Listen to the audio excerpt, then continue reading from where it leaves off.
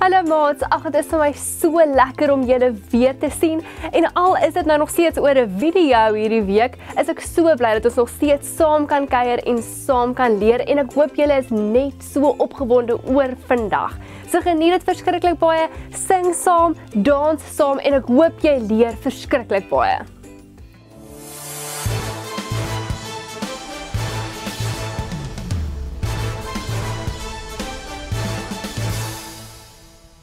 Welkom terug.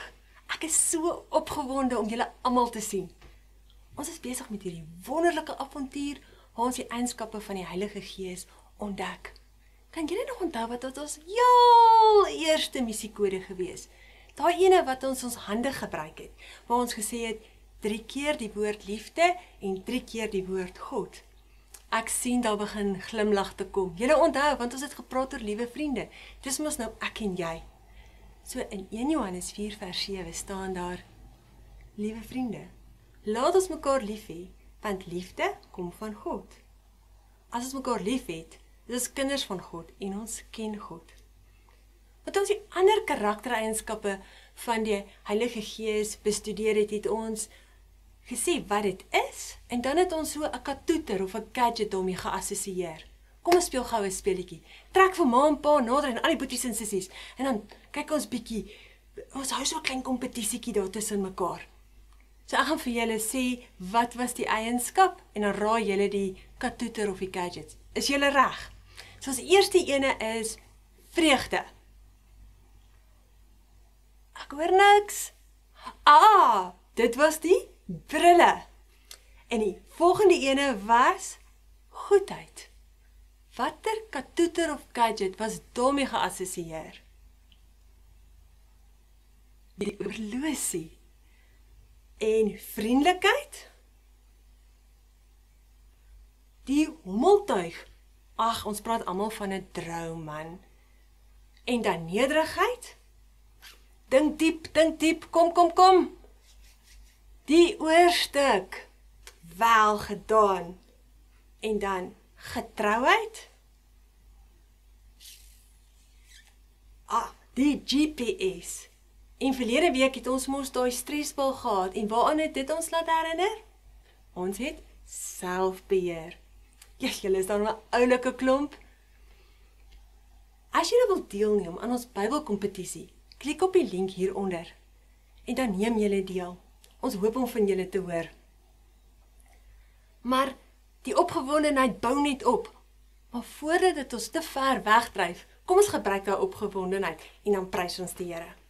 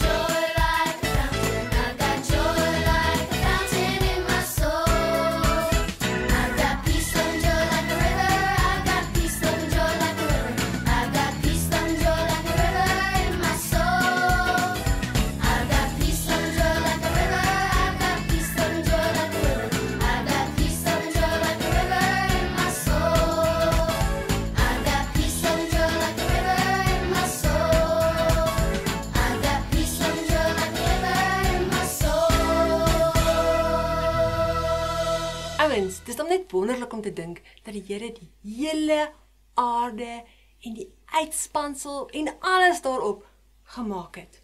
Maar julle, die beste van dit alles is is dat ons daardie Skepper ons Vader kan noem, ons Pappa. Is dit nie net so kosbaar nie? As jy nog nie vir Jesus pappa kan noem nie, asseblief ouens, klik op hierdie link. Iemand gaan saam met jou bid. Dis nooit te laat om Jesus in jou hart in te nooi nie. Doen dit sommer nog vandag. Julle weet natuurlik alles wat ons sê en doen en die keuses wat ons maak en die maniere ons met mense praat, vertel van mense van ons verhouding met Jesus. Daar's baie ouens wat nooit die Bybel lees nie. So hulle sien eintlik Jesus in ons. En dit is hoekom dit so belangrik is dat ons baie moet leer saam met Tim op al hierdie missies. So is jy reg? Kom ons gaan kyk wat is Tim se missie vandag.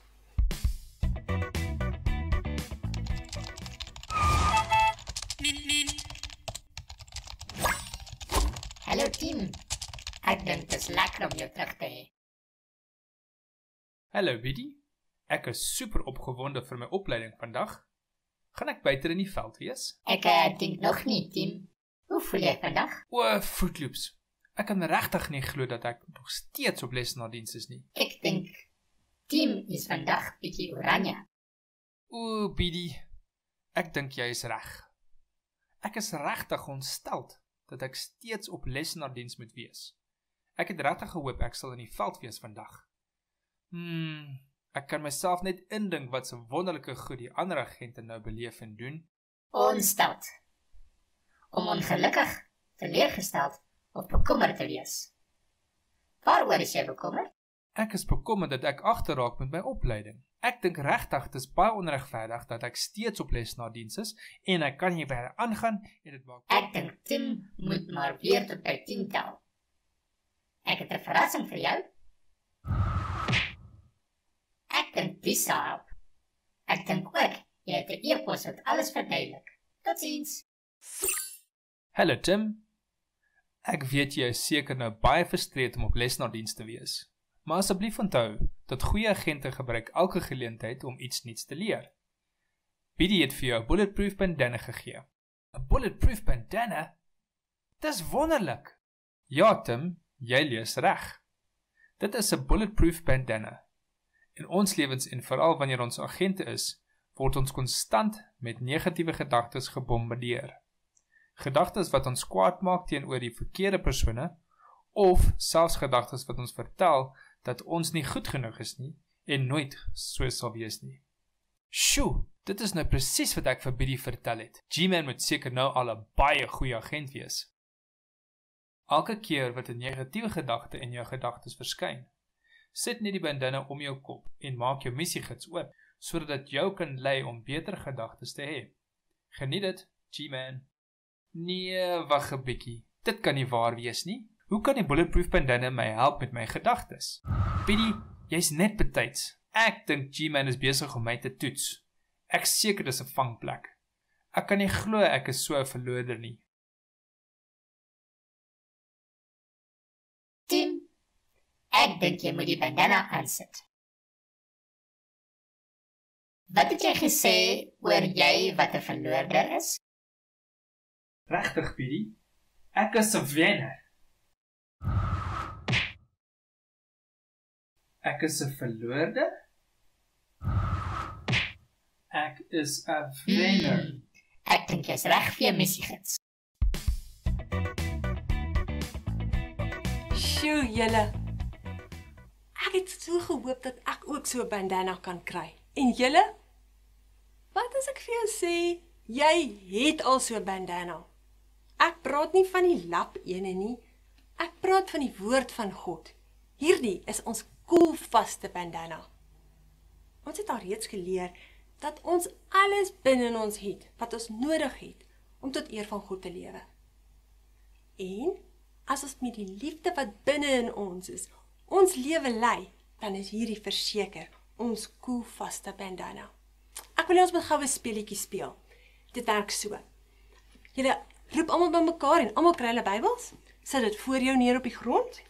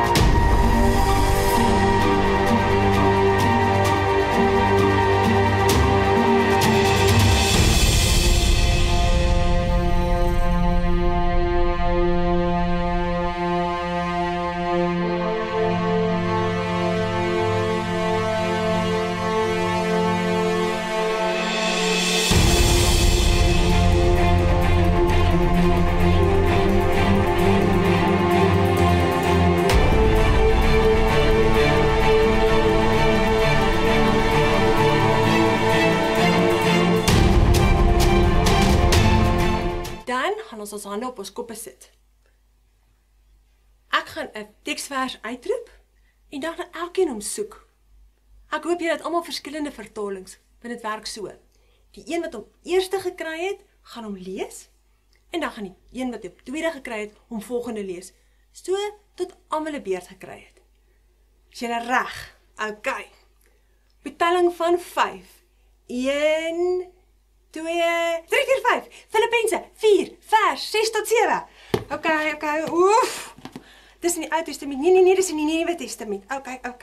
Ehm um, Korintiërs, Korintiërs, Galasiërs, Efesiërs, Filippense, Filippense 4 vers 6. Ek het hom. Ouens, dit is 'n goeie tyd om nou julle video te pause. Dan lees julle dit eers en dan kom julle terug en dan lees ons hom saam.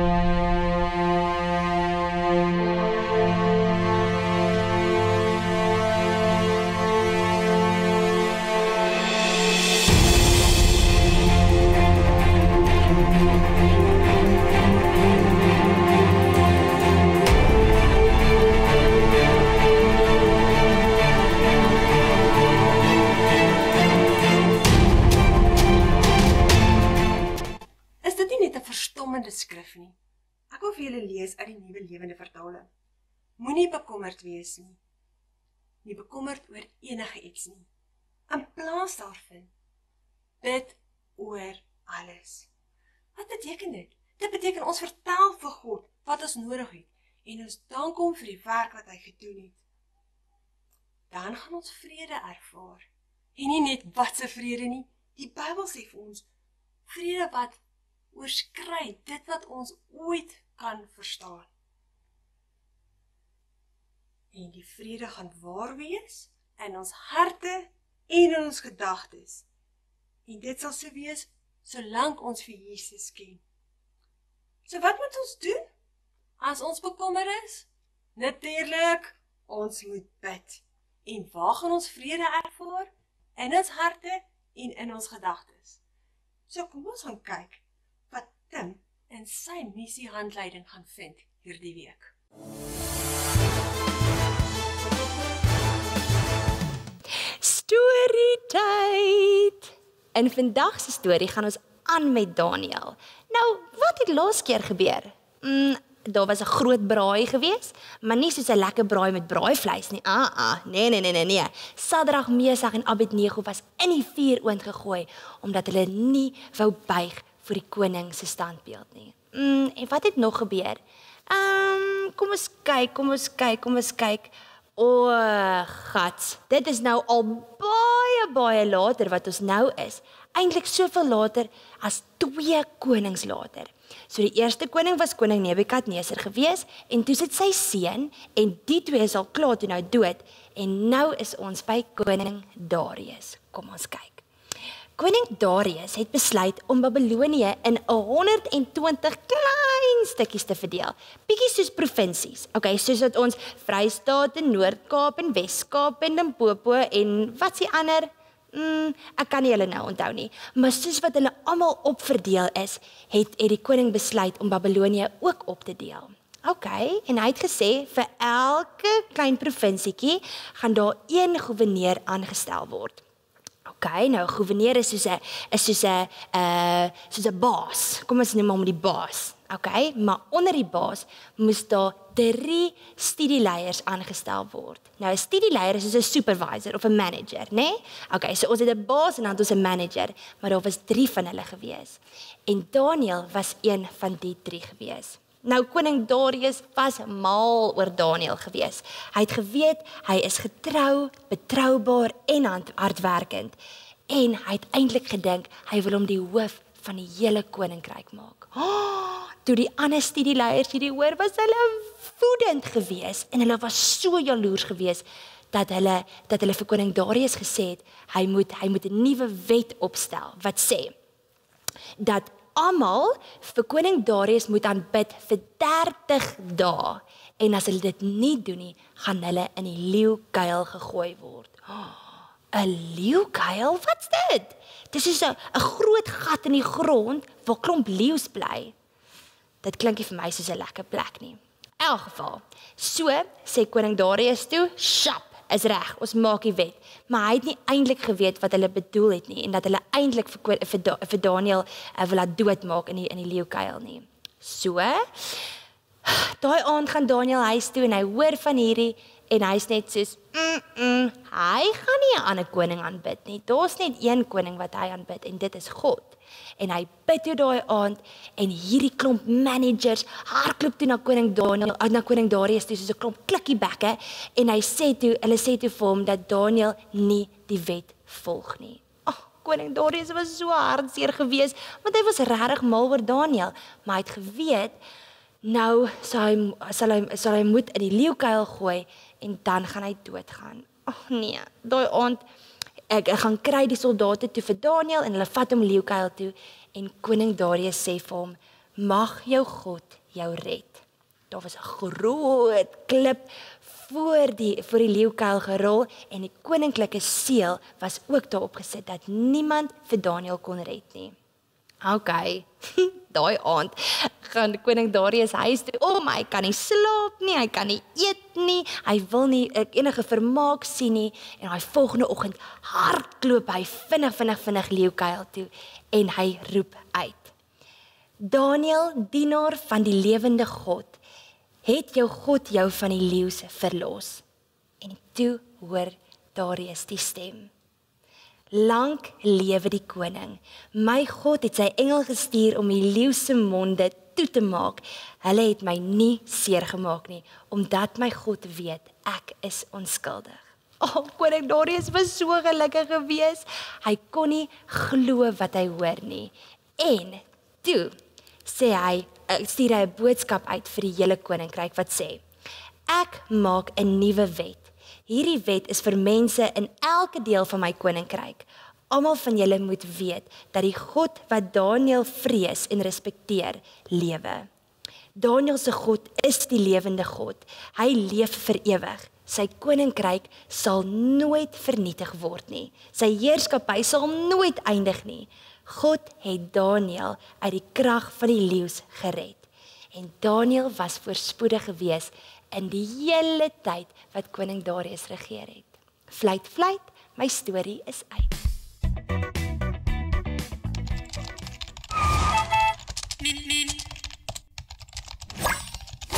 Hallo Tim. Ek dink dit is lekker om jou terug te hê. Hallo Biddy. Ek is super opgewonde vir my opleiding vandag. Gaan ek buite in die veld wees? Ek uh, dink nog nie, Tim. Hoe voel jy vandag? O, Fruitloops. Ek kan regtig nie glo dat ek nog steeds op lesnaardiens is nie. Ek dink Tim is vandag bietjie oranje. O, Biddy, ek dink jy is reg. Ek is regtig ontstel dat ek steeds op lesnaardiens moet wees. Ek het regtig gehoop ek sal in die veld wees vandag. Hmm, ek kan myself net indink wat 'n wonderlike goed die ander agente nou beleef en doen. Ontstel. Om ongelukkig, teleurgesteld of bekommerd te wees. Waaroor is jy bekommerd? Ek is bekommerd dat ek agterraak met my opleiding. Ek dink regtig dit is baie onregverdig dat ek steeds op les na diens is en ek kan nie verder aangaan en dit maak Ek dink Tim moet maar weer tot by 10 tel. Ek het 'n verrassing vir jou. Ek dink dis help. Ek dink ook jy het 'n e-pos wat alles verduidelik. Totsiens. Hallo Tim, Ek weet jy is seker nou baie frustreerd om op lesnaardiens te wees. Maar asseblief onthou dat goeie agente gebruik elke geleentheid om iets nuuts te leer. Biddy het vir jou 'n bulletproof bandana gegee. 'n Bulletproof bandana? Dis wonderlik. Ja, Tim, jy lees reg. Dit is 'n bulletproof bandana. In ons lewens en veral wanneer ons agente is, word ons konstant met negatiewe gedagtes gebombardeer. Gedagtes wat ons kwaad maak teenoor die verkeerde persone of selfs gedagtes wat ons vertel dat ons nie goed genoeg is nie en nooit so sal wees nie. Sjoe, dit is nou presies wat ek vir Biddy vertel het. G-Man moet seker nou al 'n baie goeie agent wees. Elke keer wat 'n negatiewe gedagte in jou gedagtes verskyn, sit net die bandana om jou kop en maak jou missiegids oop sodat dit jou kan lei om beter gedagtes te hê. Geniet dit, G-Man. Nee, wag 'n bietjie. Dit kan nie waar wees nie. Hoe kan die bulletproof bandana my help met my gedagtes? Biddy, jy's net betyds. Ek dink G-Man is besig om my te toets. Ek seker dis 'n vangplek. Ek kan nie glo ek is so 'n verloder nie. Tim, ek dink jy moet die bandana aansit. Wat het jy gesê oor jy wat 'n verloorder is?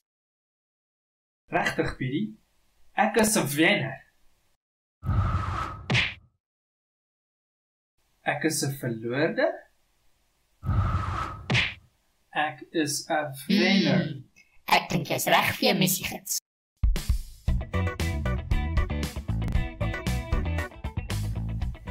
So ouens, wat dink julle hiervan? Ek is seker Tim het ontdek dat God vrede gee in alle situasies. Net soos hy vir Daniël gegee het toe hy in die leeukuil was. Ons het geleer dat God is liefde. So dit beteken dat in enige situasie, sien hom as 'n bekleierery of 'n gestryery, ons in liefde kan optree soos wat ons geleer het. Ons hoef nie eers bekommerd te wees nie. Inteendeel, ons kan vrede na die situasie toe bring. Ons het nou wel geleer van Filippense 4 vers 6 tot 7, maar daar's nog 'n teksvers in die Bybel wat praat van vrede. Ons lees daarvan in Johannes 14 vers 27. Dit sê: Ek laat julle vrede na. My vrede gee ek vir julle. Ek gee nie soos die wêreld gee nie, sodat julle nie met ontstel of beangs wees nie. So kom ons speel gou 'n speletjie. Maar hierdie ene is 'n groot speletjie. Ek hoop julle kry hom reg. So, kom ons sê jy is alleen by die huis. En dis donker. Wat gaan jy doen? Nee, ek het vrede. Want in Johannes 14 vers 27 staan daar geskryf is: Ek laat julle vrede na. My vrede deel ek met julle. Ek gee nie soos die wêreld gee nie. Julle moenie ontstel of beangs of ons sê mos worry nie. Kom ons speel hom weer 'n keer. Hierdie een is nog moeiliker, ouens. Kom ons probeer. Um Mamma en of pappa verloor hulle werk. So hoe lyk dit daar by jou? Nee, ek het vrede. Want in Johannes 14 vers 27 staan daar geskryf: Ek laat julle vrede na. My vrede deel ek met julle. Ek gee nie soos die wêreld gee nie. Julle moenie ontstel of bangs wees nie. Mooi skoot ouens. Vandag het ons geleer dat ons kan vrede hê in elke situasie. Dit is deel van die vrug van die Heilige Gees. So, is jy reg? Kom ons staan op in aanbidding en ons prys die Here.